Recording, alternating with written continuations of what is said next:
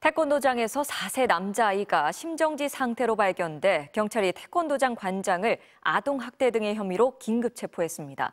경찰은 태권도장 관장이 내부 상황이 담긴 CCTV 영상을 삭제한 정황도 파악했습니다. 이지은 기자입니다. 위층에 태권도장이 있는 한 건물 앞. 멈춰선 구급차 안으로 들것이 실려 들어갑니다. 구급차 뒤로는 출동한 경찰차가 서 있습니다. 어제 저녁 7시 40분쯤 남자아이가 숨을 쉬지 않는다는 신고가 경기 양주시의 한 이비인후과 의원에서 접수됐습니다. 같은 건물에 있던 태권도장의 관장이 숨을 멈춘 4살 아동을 들쳐업고 의원의 도움을 요청한 겁니다. 아이 상태를 보니까 맥박이랑 호흡이 전혀 없는 상태였고요. 그래서 바로 이제 심폐소생술을 여기서 진행을 시작을 했죠. 소방당국은 아동의 심정지 상태를 확인하고 인근 병원으로 이송했지만 지금까지 의식을 찾지 못한 걸로 확인됐습니다.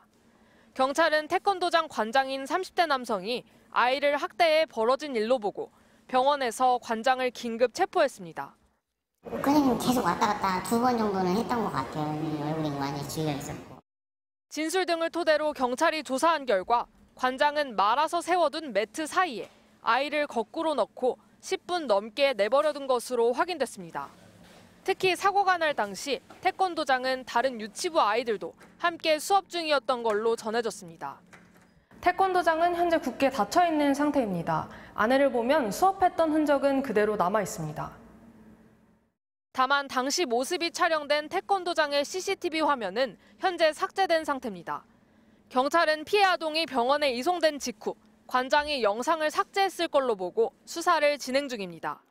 관장은 경찰 조사에서 장난으로 그랬다며 아동학대 혐의를 부인했지만 경찰은 피해 아동이 운동하기 싫다고 해서 매트에 넣었다는 목격자 진술 등을 확보한 것으로 확인됐습니다. 경찰은 아동학대 중상해 혐의로 관장을 입건하고 구속영장을 신청할 예정입니다. MBC 뉴스 이지은입니다.